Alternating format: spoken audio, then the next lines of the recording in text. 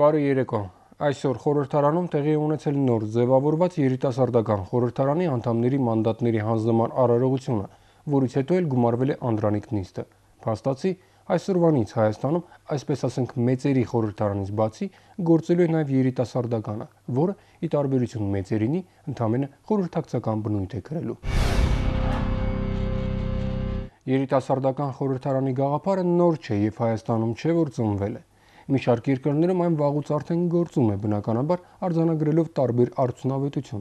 Մի դեպքում ան իսկապես կարևորված կառույց է, որից հետագայում պրակտիկ գործիչներ են դուրս գալիս, մեկ այլ դեպքում ֆիկտիվ մարմին, որտեղ հիմնականում ծվարում են երիտասարդ կարիերիստները։ Թեթևարկված երկու տարբերակներից որի մեջ կտեղավորվի Հայաստանյանը, այս բանին դժվար է ասել։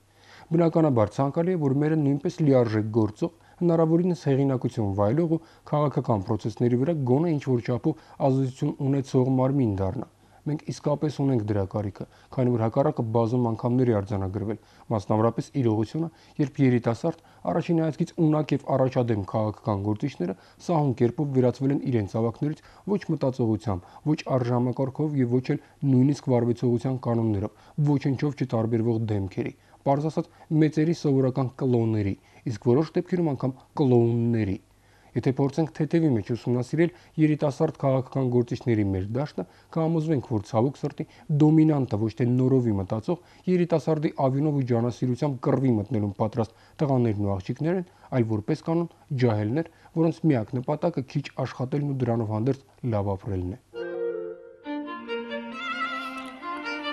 Тебе хорошо живется. У тебя все есть. Да, я не жалуюсь. Хочу котлеты ем, хочу кисель пью. Хочу в окно смотрю, хочу на этом, э, на траммака... На транзисторе играю. Որպես կանոն այդ կարգի ջահելները ուրիշ ոչ մի բանի պիտանի չեն, ասենք ղեկավար աշխատանքի մասնավոր ընկերությունում կամ որպես մեկնարկ քիչ վարձատրվող աշխատանքի պետական կառավարման համակարգի ստորին օղակներում։ Նման ջահելների պարագայում մենք որպես կանոն գործ ենք ունենում այնպիսի ամբիցիաների, սեփական անձի կարևորության մասին այնպիսի ծիծաղերի պատկերացումների հետ, որ միանգամից པարզ է դառնում, որ սրանք, ասենք 5 տարի շարունակ, այսինչ վարչության, այսինչ բաժնի կրծեր մասնագետ երբեք չեն աշխատի։ Դա նրանց արժանապատվությունից խիստ ցածր է։ Իսկ քաղաքական որևէ ուժի համար ստորակարշություն անելը, գալստուկ կապելն ու գալստուկավոր ստրուկի վերածվելը միանգամայն նորմալ է։ Նորմալ, քանի որ այդ կարգի տղերքը, մեկ-մեկ նույնիսկ նաև աղջիկերքը շատ լավ հասկանում են, որ լավ ապրելու ամենահեշտ ճանապարհը հենց դա է, դեռևս դա է։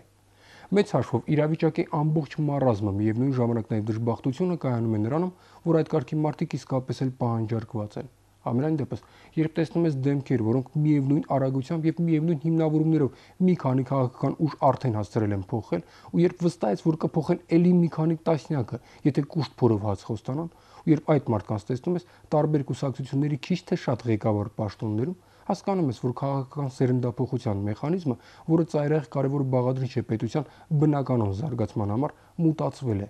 չունենալով իրապես մրցունակ, նորովի մտածող ու լայն աշխարհայացքով ազնիվ ու սկզբունքային երիտասարդների բավարար pašար փաստացի, մենք ունենք գործող քաղաքական գործիչների մի բանակ, որի մի պատկառելի հատվածը իր մտածողությամբ, աշխարհայացքով, արժամակարգով ու նույնիսկ հաց ուտելու կուլտուրով իր դառն արդեն ապրել է։ Ճիշտ է, եթե իրենց հարցնես, դրամագծորեն հակառակը կպնդեն։ Ну что ты смотришь на меня? Ну почему ты меня не спросишь, сколько мне лет? Ой, прости, пожалуйста, сколько тебе лет? Я мужчина хоть куда полном расцвете сил. Да, а в каком возрасте бывает этот расцвет сил? Ну, знаешь, эм, не будем об этом говорить.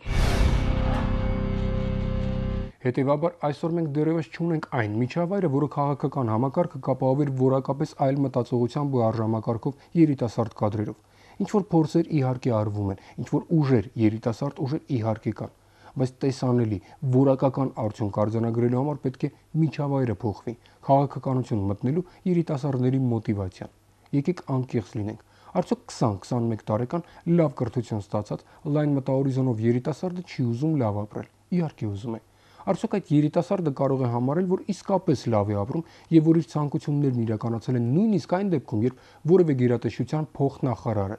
դժվար թե Ամենայն դեպս չեմ կարծում, թե այդ կարգի մրցունակ կադրի համար փոխնախարարի համար սահմանված 150 հազար դրամ աշխատավարձը երազանքների բարձրակետն է։ Իհարկե այդպես չէ։ Եվ արդյոք չի ստացվում, որ եթե երիտասարդն իսկապես էլ ուզում է պետական կառավարման համակարգ մտնել ու արժանավայել վարձատրություն ստանալ, ստիպված չի լինելու ստվերային ուղիներով լուծել իր բարեկեցության խնդիրը։ Կարծեք թե հենց այդպես էլ ստացվում է։ Եվ հենց դա է պատճառը, որ քաղաքականություն, ինչպես նաև պետական կառավարման համակարգ կամ մտնում են երիտասարդներ, որոնք ուժ ոչ մի բանի պիտանի չեն եւ հասկանում են, որ հենց այդ ճանապարհով կարող են լիքը փող աշխատել, կամ էլ եթե կուզեք նույնիսկ ռոմանտիկներ, ինչ որ իդեայի նվիրված երիտասարդներ, որոնք իրականում եզակի են։ Արդյոք այս համակարգը կարող է նպաստավոր լինել բնականon քաղաքական սերնդափոխության համար։ Բնականաբար ոչ։ Հետևաբար մենք խնդիր ունենք։